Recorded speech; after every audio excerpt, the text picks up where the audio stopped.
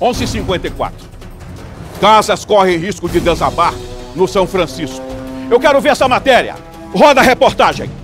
Nós estamos chegando aqui na Travessa da Serra, no Jardim São Francisco, onde esses moradores aqui estão nos aguardando.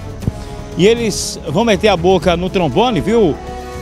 A respeito aqui deste esgoto que está consumindo este quintal. Aí você pode observar que este pé de manga já foi consumido, né, pela erosão deste terreno da água, né, que passa nos fundos de uma, duas residências.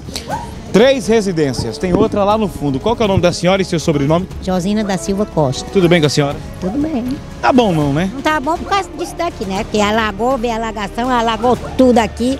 Dentro da nossa casa nós tivemos que ficar trepado nas coisas para não, não abandonar nossas coisas, né? A senhora já mora aqui há quanto tempo, hein? 44 anos. 44 anos e este esgoto existe há 44 anos. 44 anos. Como que vocês vieram para cá sabendo que tinha esse esgoto? Porque esse esgoto aqui, ele era só um reguinho. Nesse tempo não tinha negócio de, de coisa de, de... Fazer esgoto e jogar aqui. Sim. Aí agora fizeram esses conjuntos, aí jogaram os esgotos tudo pra cá pra dentro, aí tem que aguente. Agora o senhor tá para ver já a casa do senhor ser demolida por causa dessa erosão aí, né? É, A cada dia vem aumentando aí. a cada dia tá aumentando, você vê, né? Olha o pé de mangueira, quando tá aqui em cima, atrás, lá embaixo. Né? A manga ajudava muito, agora tá morrendo o pé de manga. Eu não ando no pé de manga solado, dentro da água. O que, que vocês pedem às autoridades através aqui do Gazeta Alerta? Olha que eles possam olhar, né? Ver isso aí, eles vêm ajeitar, porque IPTU todo ano chega, né? Eles gente, pagam IPTU aqui. a gente não tá pagando, porque vamos pagar pra morar dentro do esgoto? Mas vem A o, gente carnê. Tá pagando, sim. Só que a gente parou porque ninguém vai morar dentro do esgoto, pagar pra morar no esgoto, né? O medo de vocês é que as casas sumam aí no buraco. Vai junto no buraco, né? Tá aqui a erosão. Um, dois, três, quatro, cinco passos para chegar nesta residência. Joatan de Souza, aqui do Conjunto São Francisco, de olho na cidade para o Gazeta Alerta.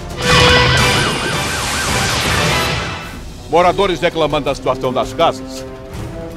E é claro, tomara que logo esses moradores sejam transferidos daí para outras casas.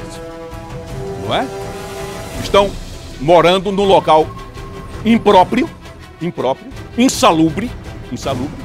E é esperar que novas casas, não é, do governo do estado sejam construídas e a partir daí esses moradores possam sair dessa área, sair dessa área. Volta a imagem para cá. Volta a imagem para cá.